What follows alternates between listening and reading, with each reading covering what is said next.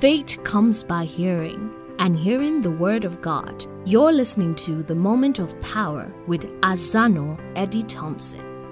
Daily audio devotions to energize your day, presented by the Advent Hero Ministries. Our moment of power topic today is Power in Faith Declarations, Part 6. Even if no deliverance. But if not, be it known unto thee, O King, that we will not serve thy gods, nor worship the golden image which thou hast set up. Daniel 3, verse 18. King Nebuchadnezzar had tried to show leniency to the three Hebrew words, even when he was an absolute ruler. In other words, even if he had unlimited power and can be very despotic, a ruler with total power and can use it the way he chooses, he was really trying to be lenient with them.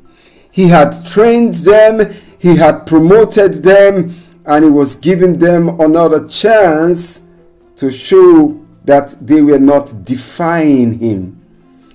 He knew that they were very useful to him and his kingdom, and he didn't really want to lose them. But he does not understand why they seem ungrateful and why they would want to forfeit everything, including their lives. He was sure they would not be that foolish. Then he commanded that the fire should be heated seven times hotter than usual. All of these was to save them from their foolishness. After trying all of these to get them to cooperate, and they were not yielding an inch of their ground, he became furious. He will not have these conquered slaves rubbish his glory.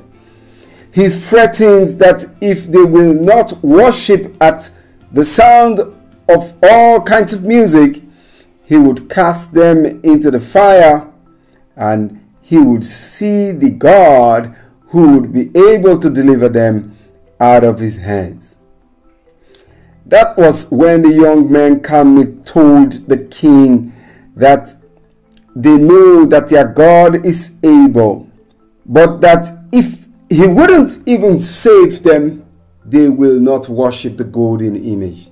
They told the king that they had made up their minds. Hananiah, Mishael, and Azariah would show the entire universe that their relationship with God transcended earthly considerations. They were not worshiping God because they wanted a fat bank account or healing or academic breakthrough or any other worldly consideration or gain. They worshiped God for who He is and based on the fact that He alone is worthy of worship, being the one and only Creator God. That is why they declared by faith that even if God would not save their lives on the plain of Dura, they will not worship wrongly. Do you have such kind of faith? Do you have such boldness for God? Do you love and honor God above all? Would you rather die than sin to grieve God?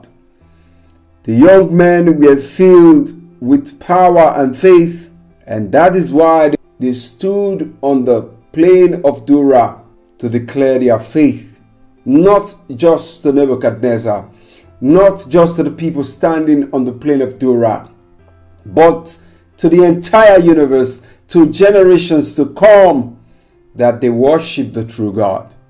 This is the moment of power May you have a victorious day in Jesus' name. Amen.